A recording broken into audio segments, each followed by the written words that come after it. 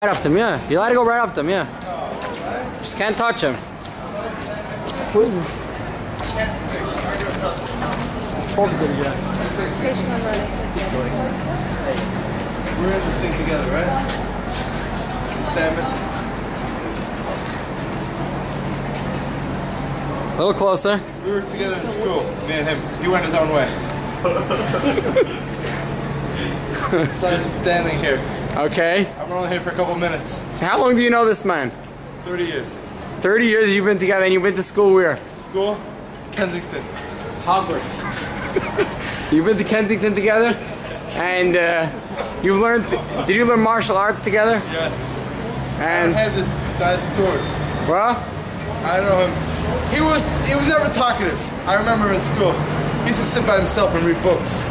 I was just this guy fooling around and having fun. He was just reading. You were, you, were asking questions. You answer with his head. Yeah, no, yeah, no.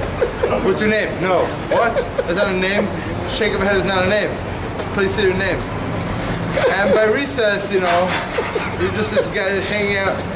Came, his mother always picked him up from school. You know, he's that type of guy until he was 20. His mother picked him up from school.